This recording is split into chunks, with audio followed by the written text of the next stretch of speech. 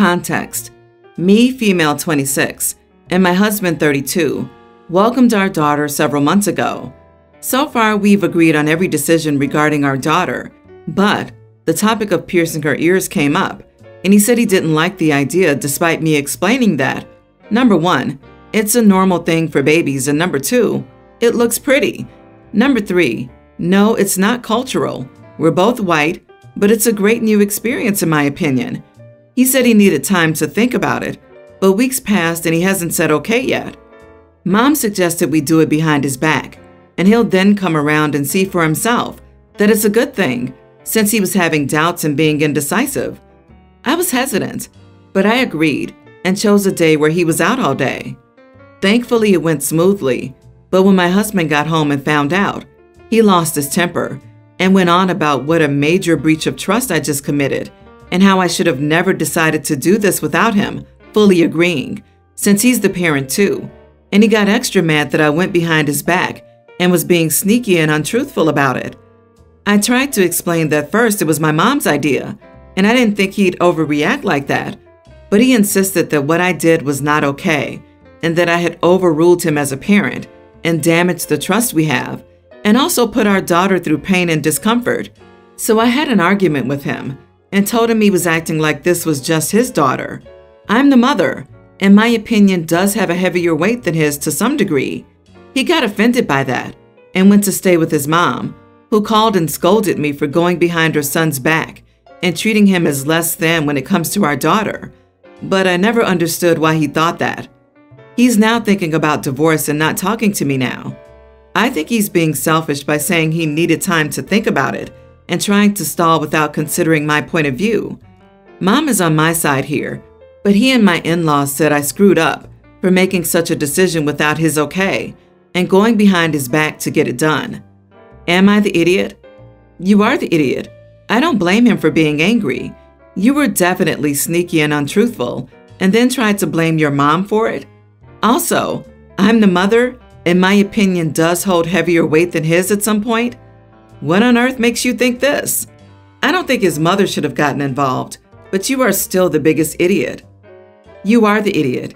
It's a child, not a Christmas tree for you to decorate. And you explicitly went behind your husband's back for it too. And that's the thing.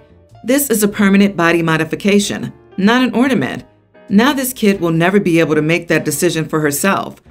I'm extremely grateful to my parents for not getting it done for me as an infant because as I grew up, I leaned more masculine and made the conscious choice not to pierce my ears. Along with doing this behind her husband's back, OP never once reflects on the repercussions for her child after this procedure and is instead fixated on how her husband dared to call her out for going behind his back, something she admits to doing. It's possible that her daughter won't mind much as she grows up, but the fact that she never thought about her kid in this post bugs me. You are the idiot, OP. A wake up call here is well deserved. Jesus, OP, for me, it's not normal to get babies pierced. Where I live, it's more common to do it when they want it themselves. Should a baby need a piercing to be seen as pretty? That sentence made me feel sorry for your child. Apparently, her look is more important for you than her health and husband's consent. You screwed up big time. I have a stepdaughter, Rose, and a bio daughter, Lily. Lily's dad is in the picture.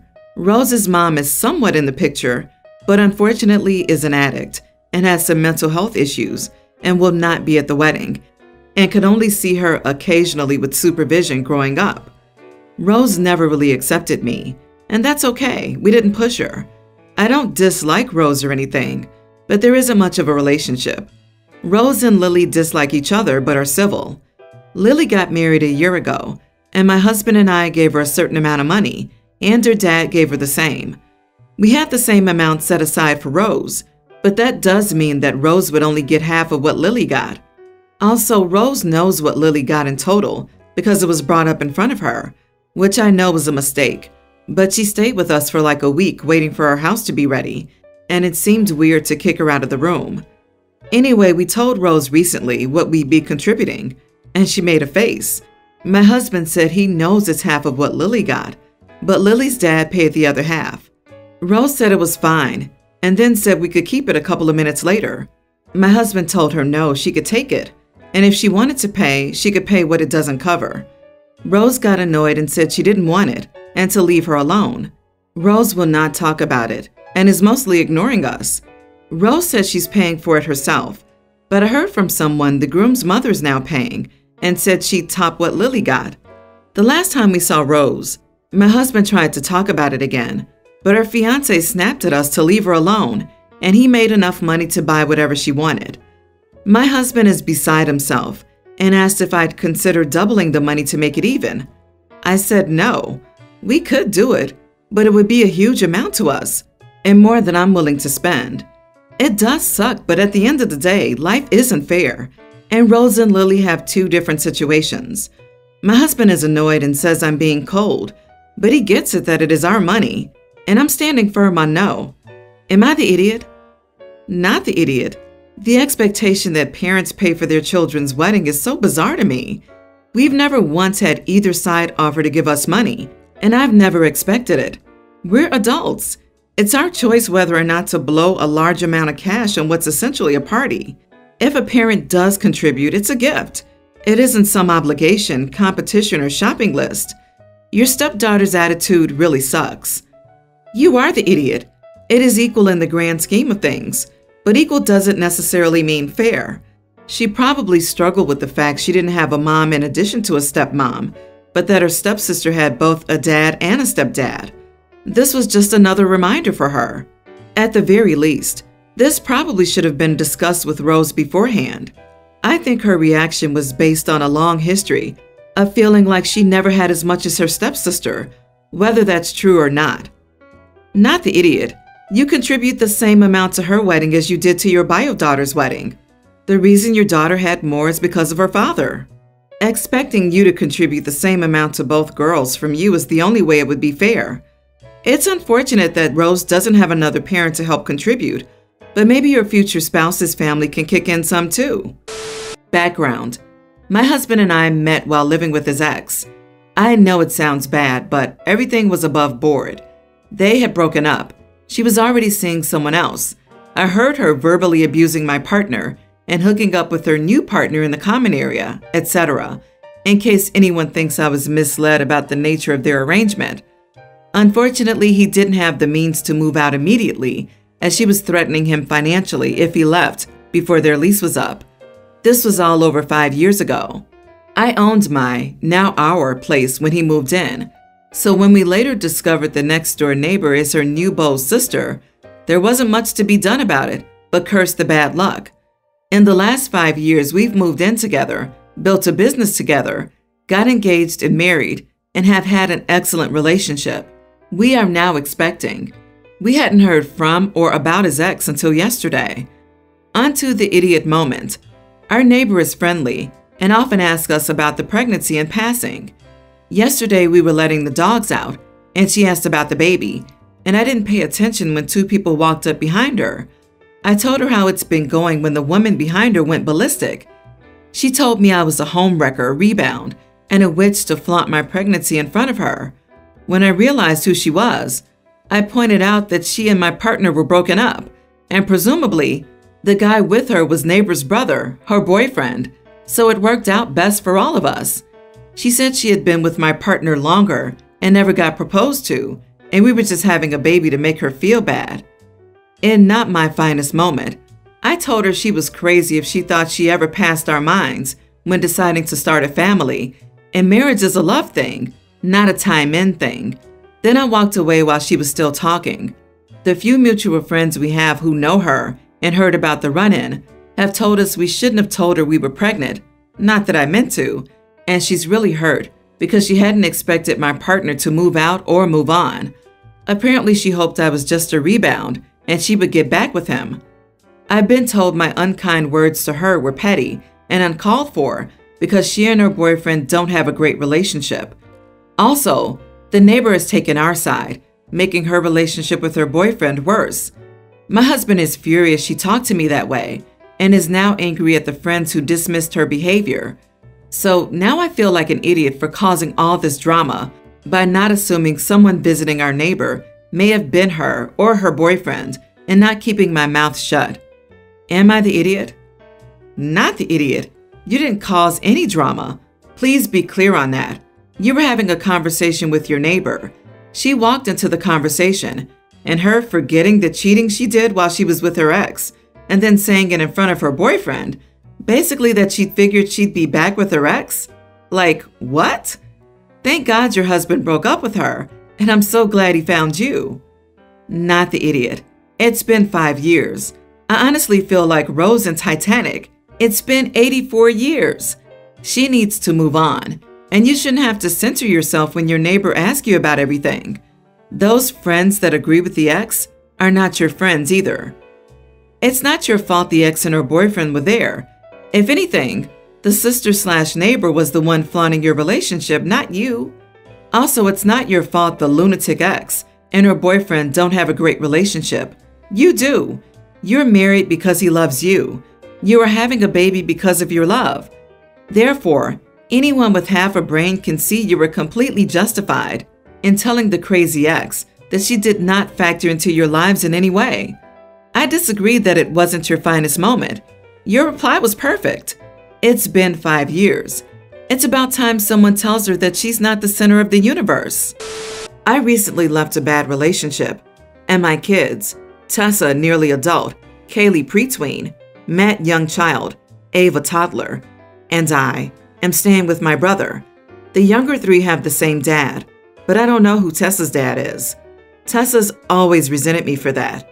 I dated this great guy, Jack, when she was around two years old, and we almost got married. But he got a job in another country when she was six, and we couldn't follow him. Shortly after that, I introduced her to my ex husband, the younger kid's dad, David. She hated him right off the bat, but I assumed it was because she missed Jack and wanted me and him to get back together.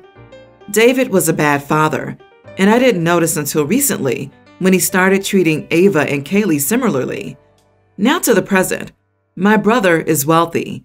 He has three guest rooms, and I thought he would put the girls in one room, Matt in another, and me in another.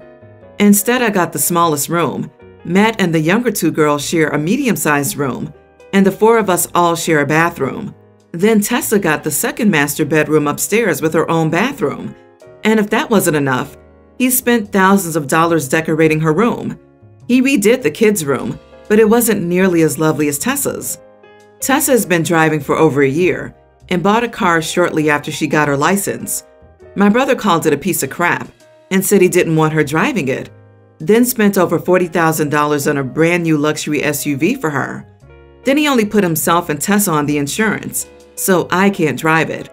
Then for Christmas, he bought Tessa an iPhone 13, MacBook Pro, iPad Pro, Bose headphones, accessories for her devices, then spent over $200 on gift boxes from Lush. The other kids got nice gifts, but again, not nearly as nice as hers.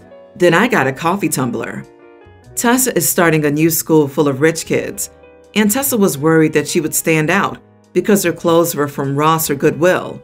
So my brother took her shopping and spent thousands of dollars on new clothes and makeup.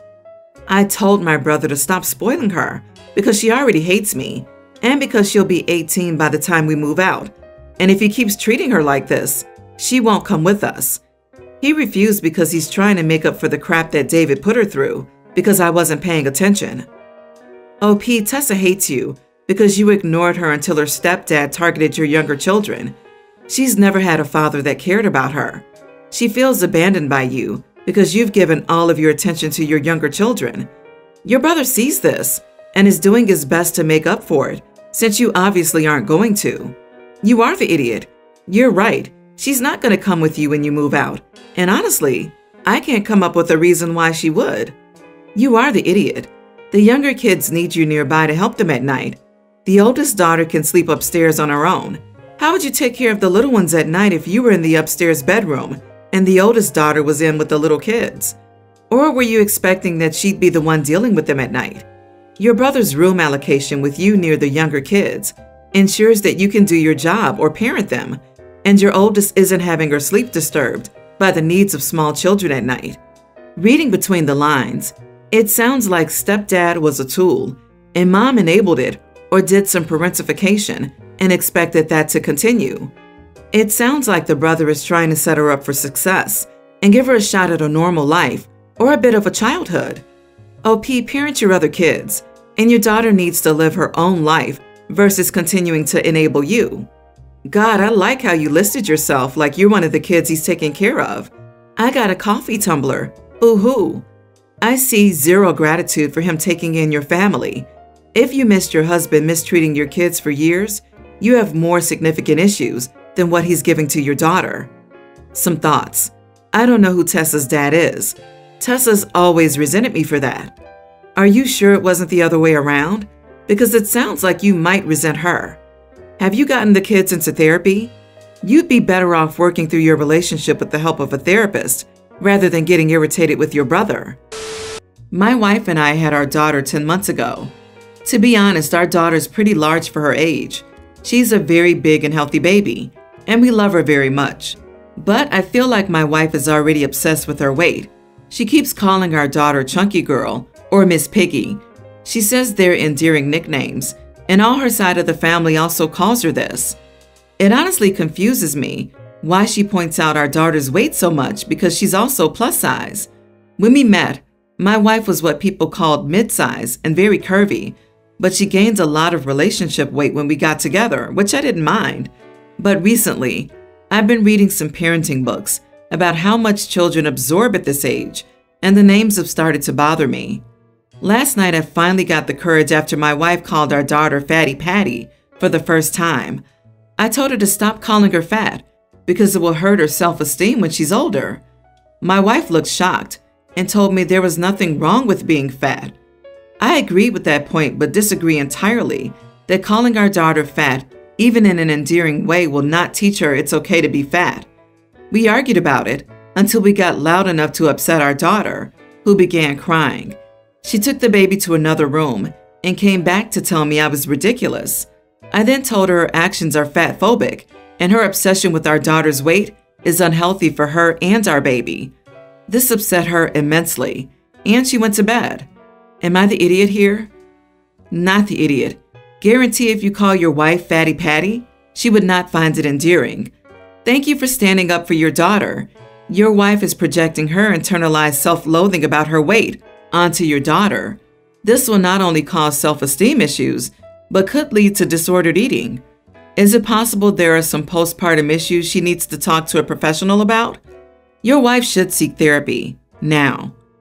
Your daughter will start internalizing these negative messages as soon as she's old enough to talk. My sister's obsessed with her weight, and my niece, who is three years old, constantly says things like, I need to sweat so I don't get fat and pretends to work out like her mom after she eats anything sugary, which I find very screwed up. This kind of thing will not help create a positive body image for your child. I'm flabbergasted that this is such a big deal. She's a 10 month old baby. She's supposed to be chunky, and the tone of how your wife is saying it doesn't seem to be an issue. I'm saying you are the idiot because you're accusing your wife of being fat phobic over something as stupid as your infant child's nicknames.